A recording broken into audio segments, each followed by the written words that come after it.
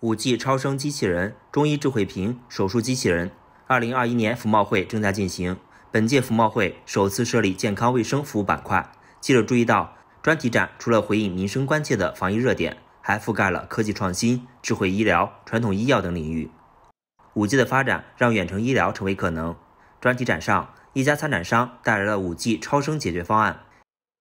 比如说，我们医生是在北京，那我们的这患者是在西藏。那我们西藏的患者呢，是不需要通过任何的这个医师在现场，然后呢，他直接根据我们远程在北京的这个医生，然后他的这个这个现场的一个语音对话，告诉他怎么样去操作，他才躺在这个上面，就可以为他进行一个有效的，包括就是五脏六腑呀、血管以及各方面的超声的检查。一款神经外科手术机器人也亮相展会。该款设备由脑眼手三部分组成，通过类人的运行原理，亚毫米级精度的自动定位，实现神经外科手术的精准化、微创化。此外，通过建立五 G 工作站，它也能实现远程手术支持。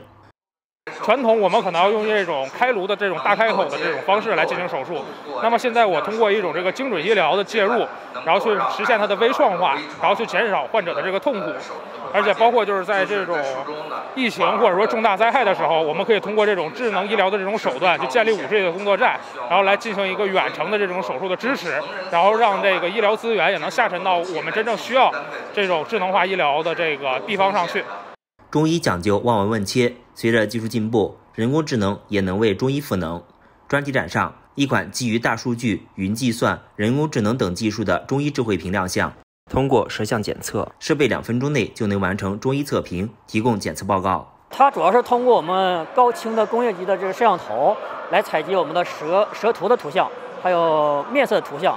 这样的高清图像呢，然后呢作为我们这个采集的呃结果之后，然后根据数据库呢进行对比。